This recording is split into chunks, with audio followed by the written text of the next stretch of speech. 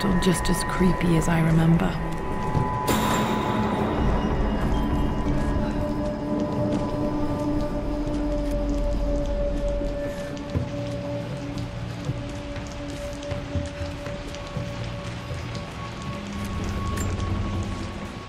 My lord, I hope this missive finds you on a successful expedition and in good health. Before I bore you with estate affairs, I wanted to let you know that our little angel has been into some mischief. As always, I indulged her in our usual game of chess. Over the course of the game, she broached the subject of her mother.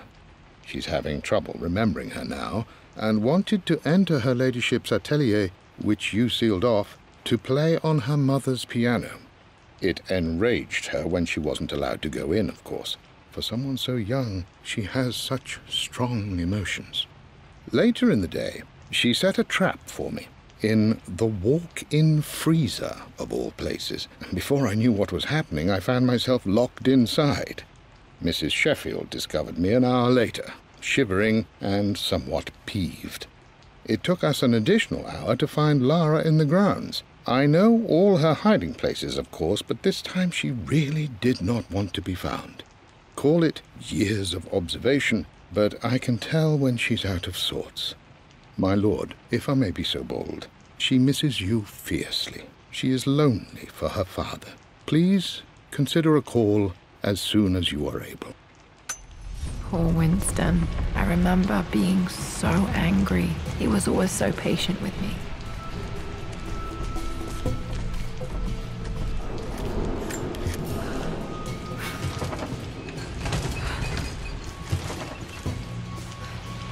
King to Queen 1. I'm going to win this time, Winston. Clever girl. But you should know by now, winning isn't everything. Queen to King's Bishop 6. Check. Easy for you to say. You always win. Knight takes Queen. What I mean to say is try to enjoy the journey, Lara. Don't rush to victory. Bishop to King 7. I know, Winston. I just want... No! I didn't even see that! You should also know by now, I'm not to be trifled with on this board, young lady. Mate. Oh, I am going to win. Someday. I would play chess with our old butler Winston on this board. Never could beat him. I always chose white. Maybe if I let him go first once in a while, I might have won.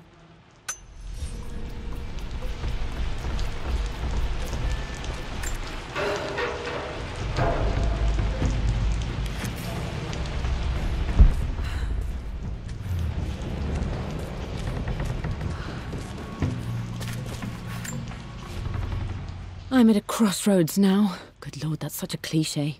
But there's truth in it. Two roads before me. Both present joy and compromise. A life with Richard, adventure, intellectual pursuit, perhaps a new family. But also a man obsessed with something I cannot understand. Or a life of obligation, upholding the de Mornay name, embracing our traditions, not losing the family that raised me. Oh, this really is a rubbish choice. I don't want to lose them. But I love the life I've started to build with Richard. He comes with his own difficulties, but I can accept them. Will it be enough?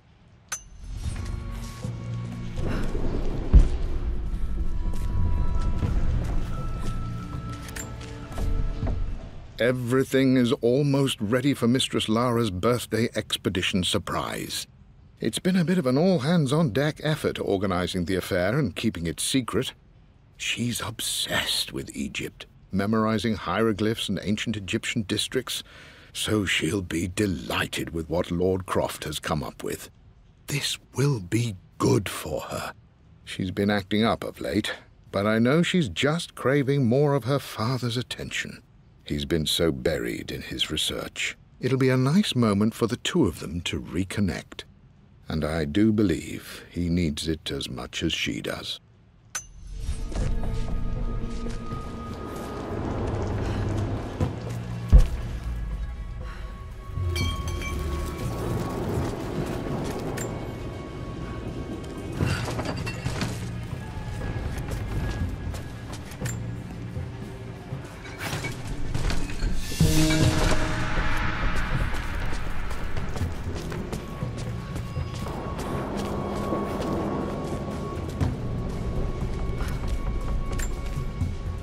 Dad loved a good bottle of wine. Hmm, I can still smell his favorite Bordeaux.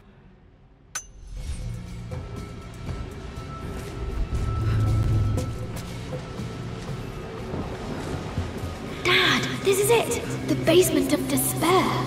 Indeed, Lara. Muster your courage, for this is the only path to the Library of Infinite Knowledge. Look there! See the string? An ancient Egyptian tripwire. The Keepers of Knowledge want none to disturb their treasures. We must tread carefully. Let me lead. I know how to spot all the traps. I'm sure you do, my darling. Lead on.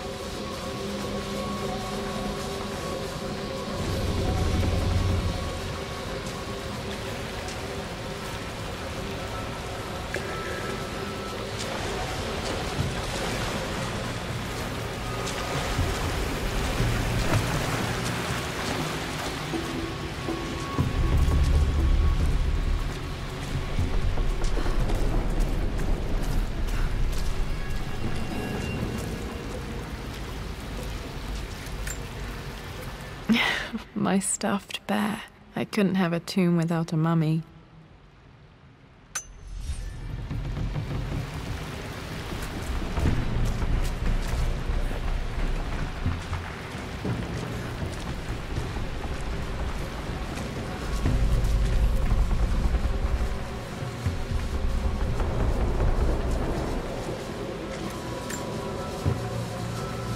One of the wire traps Winston made for my birthday expedition. Winston used my hair ribbons to make this. He and Dad put a lot of work into this birthday surprise.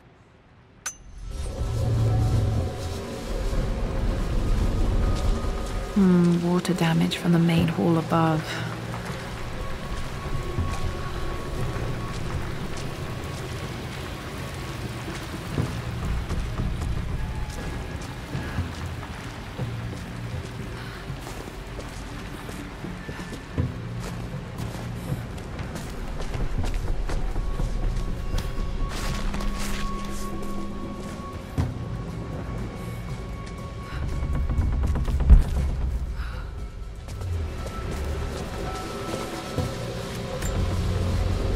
Bust of Anubis was from Dad's Egyptian collection. He must have put it down in the basement for our little expedition.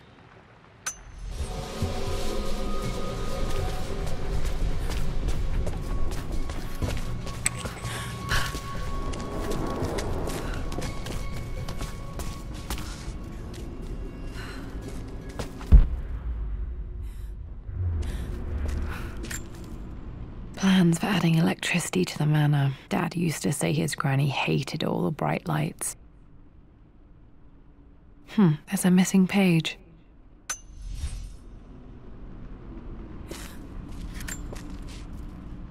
Amelia left tonight. She packed her suitcase and walked right out of here, and I didn't even notice.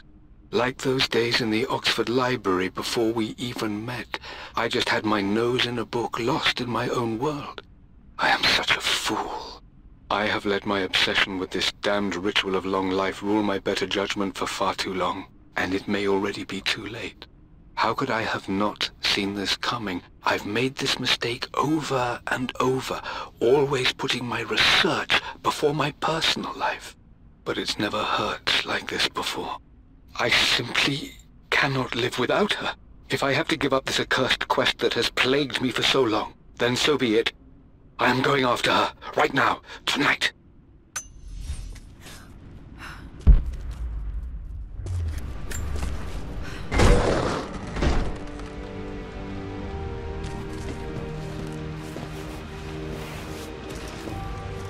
Okay, Dad's ledger has to be in here somewhere.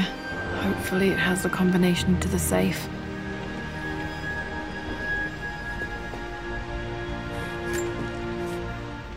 I've created a clever little map for Lara's birthday expedition.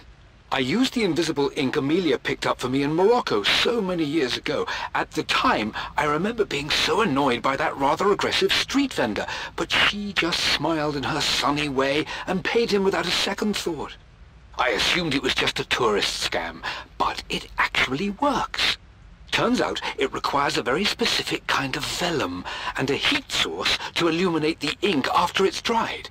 It should prove a nice challenge for Lara to puzzle out.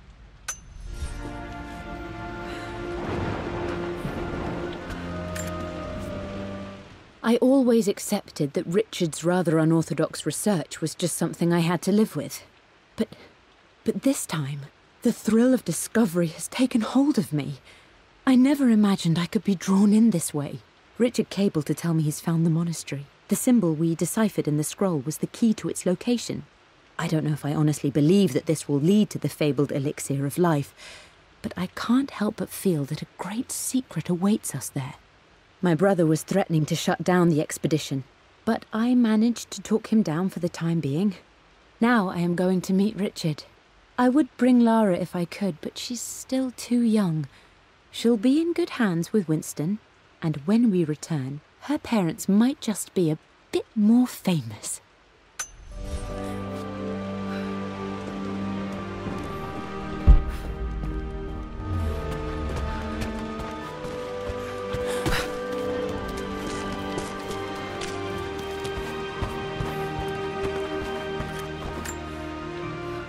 Picture was taken in the library. 1820 additions to the main hall in progress. Hmm.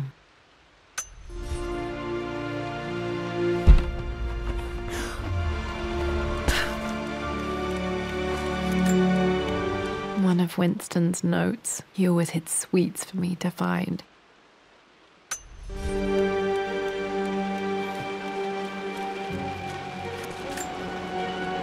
Remember this now. Each district in ancient Egypt had a symbol and a number. I always preferred these symbols to the actual number hieroglyphs. Now, let me see, let me see. These two myths are referencing the same source material. But where did I see this image? Dad, I think it's this one. In the chapter on Egyptian districts. Why, yes, I think you're right, Lara. I remember the page with the illustration of Ra. My goodness, you've been paying attention, haven't you? This could be an important breakthrough. Does this mean I'm your research assistant? That and more, my darling girl. Takes me back. This was always one of my favorite books in this library. I used to trace hieroglyphs.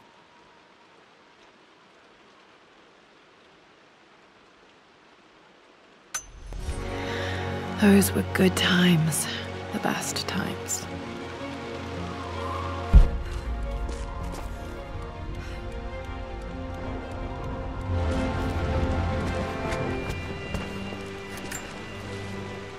I've reached the monastery. As Roth predicted, it was hidden deep in the Himalayas, and now that I'm standing on these high stone walls, I am overwhelmed by the sheer beauty of the mountains that surround me. It is simply breathtaking. But what adds to their spiritual majesty is the truth of this place. The monks welcomed me, as is their way, but they seemed to expect me. They must have known someone like me would eventually come seeking answers. I know this is the place. They've conducted the ritual before. I have seen the evidence, the distinctive symbols carved into the floors, the art displayed on the inner chamber's walls. They've created the elixir before, and they will again if I can convince them.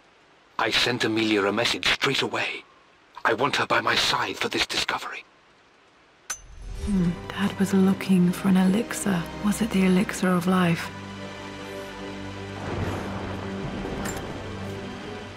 For God's sake, memorize the combination, you fool. Lara's expedition treasure, my favorite painting by Amelia, the day of our wedding anniversary. Okay, got to find those objects to figure out the combination to the safe. There's something else here. Dad's lighter. I don't remember him ever using it though.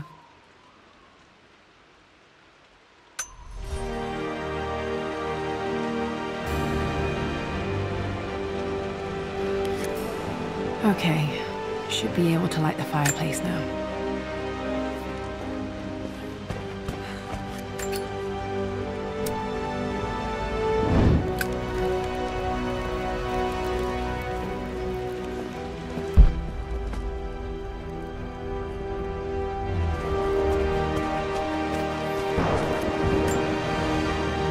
took quite a tumble off of this old thing when I was a girl. Still feel it in the shoulder from time to time.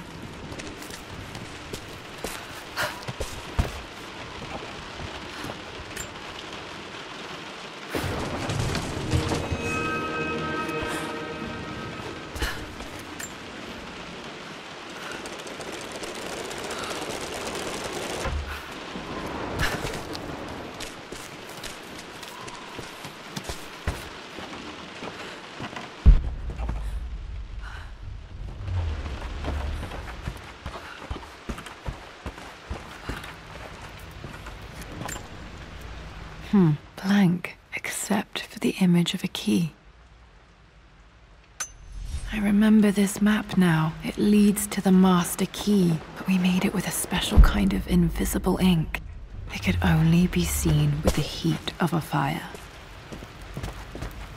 I can see the map. Looks like the key is hidden under a trunk near the bookcase. X marks the spot, as they say.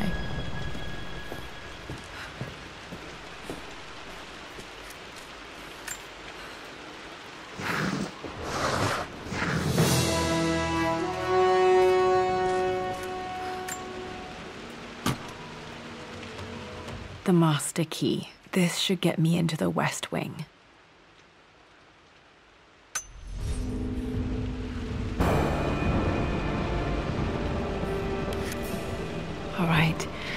Should open most rooms in the manor, including the Forbidden West Wing.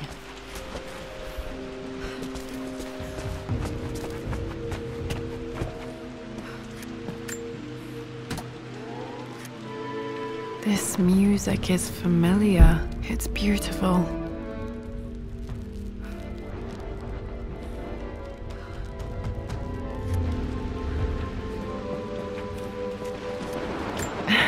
It appears Sir Reginald's helmet fell off. Or didn't I put it back properly?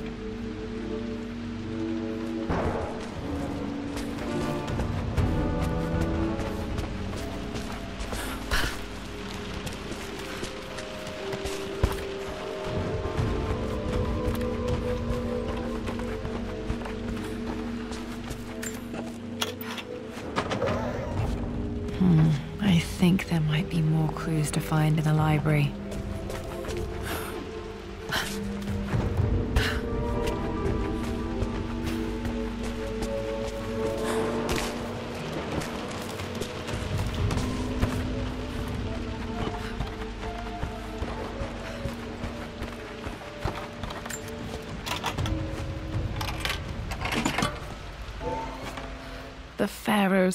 From my birthday treasure hunt. How old was I again? Six? Eight? Hmm, I think this hieroglyph corresponds to a number, but which one?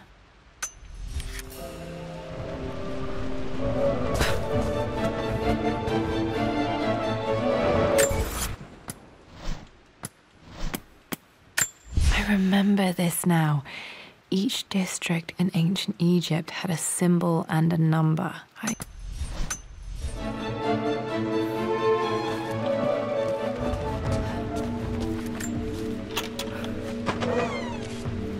Okay, Dad's clues mention Mum's paintings and their anniversary. Hopefully, I can find some answers in the West Wing. Mistress Lara, I took the liberty of preparing a tray, as dinner did not go according to plans. I've included, in addition to your meal, a few treats. I would appreciate it if you kept this between us, but I felt tonight called for something special. If you will forgive me the indulgence, your rapid exit from the dinner table had me concerned, and I wanted to impart something that I hope sets your mind at ease. I have known your father for quite some time. There is an intensity to his passion that can be frightening, but I recognize that same passion in you. You're more like him than you know. Never doubt that he loves you more than his research, more than his artifacts, more than anything in this world. Storms pass, and tomorrow will be clear and blue again. When you have finished, please leave the tray outside. Be well. Yours, Winston.